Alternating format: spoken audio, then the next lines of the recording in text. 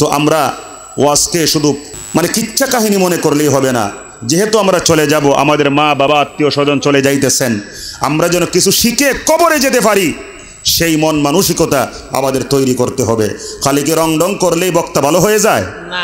আমার বাইরা তবে এই যে কিছু বক্তারা রং ডং করে এই জন্য আপনারাও দায়ী। আপনারা আগেই বলে দেন হুজুর একটু হাসায়েন হুজুর একটু কান্দায়েন। আচ্ছা কান্দায়েন এটা তো ভালো কথা কিন্তু হুজুর একটু হাসায়েন। আরে ভাই হাসতে মনে চায়। তাহলে হুজুরের কাছে কেন?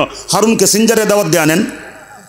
দিলদারে নিয়ে আসেন কবর থেকে উঠাইয়া ঠিক না বে ঠিক কার এদের সাই থেকে হুজুররা বেশি হাসাইতে পারে?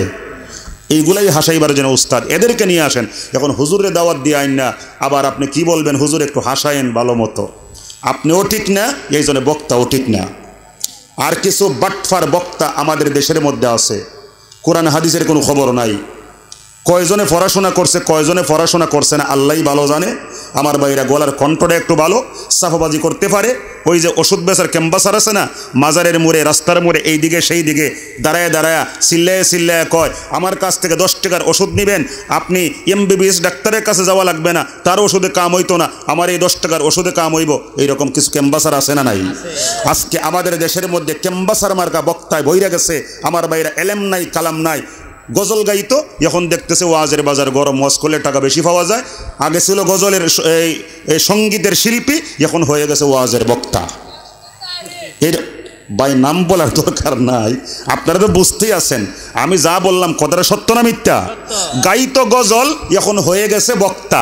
তারপরে ফর্ত কোরআন শরীফের কেরাত তেলাওয়াত করতো, দেখতেছে যে কেরাতের মার্কেট তো ভালো না, গেলে টাকা টাকা বেশি দেয় না, পাঁচশো বা এক হাজার টাকা দেয় ওয়াশ করলে তো পঞ্চাশ হাজার টাকা পাওয়া যায়। তো আমার তো কণ্ঠ ভালো আছে, মনে করে কণ্ঠ ভালো থাকলেই বুঝি বক্তা হওয়া যায়। ফর্ত কেরাত, এখন হয়ে গেছে মাহবিলের বক্তা। আমার বাইরা এইগুলা আমার বাইরা সংগীত শিল্পীর থেকে যারা বক্তা হইছে, তারপরে কেরাত থেকে যারা বক্তা হইছে, এই সমস্ত বক্তাদের কারণে বক্তা জগৎটা আজকে নষ্ট হইতেছে। যেটা বলেন ঠিক না রে ঠিক? একটা বক্তা ছোটবেলার থেকে ওই লাইনেই চেষ্টা ফিকির কইরা সে বক্তা হইছে আর কোনো কথা নাই বার্তা নাই পড়া নাই শোনা নাই আমার বাইরা প্র্যাকটিস নাই কোনো কিছুই নাই আবার বনু হুট করে বক্তা হয়ে গেল গা। আর আপনারাও তাদেরকে দাওয়াত দেন খুজ্জা খুজ্জা আনেন। আমার বাইরা যে যেই কাজের জন্য আল্লাহ যারে বানাইছে সেই কাজটা তার কাছ থেকেই নিতে হবে। আপনারা কি রাগ করতেছেন আমার কথায়? রাগ কইরেন না আমি কিন্তু কারও নাম বইলা তার সমালোচনা করি নাই। মানে এই রকম আজকে আমাদের দেশের মধ্যে আছে। একটু জিকির করেন আমি একটু সাডা খাই এরপরে আবার হাদিসের পরবর্তী আলোচনা। আছেন তো আমার সাথে? কতক্ষণ আছেন কন্ত সারা রাত আছেন? সত্যি? হ্যাঁ। আলহামদুলিল্লাহ আমিও আছি। দেখেন আবার কিন্তু একটু পরেই কয় না পেশাবে ধরছে। আবার আমাদের সিস্টেম আছে একজনের ফেসাবে ধরলে আরেকজনের পায়খানা ধরে। না ধরলেও উঠটা জায়গা ও ভাই কই যান? ক হুজুর। দুই। হেরে জিগাইলে, আগেরটারে জিগাইলে কই যান? আর পরেরটারে জিগাইলে, এখন তো আর কিছু বলবারও সুযোগ নাই। আসলে এখন আর দুইও না কিছুই না হে মাহফিলের মধ্যে বইত না। শয়তান একটা আছে না কুসাইবার জন্যে?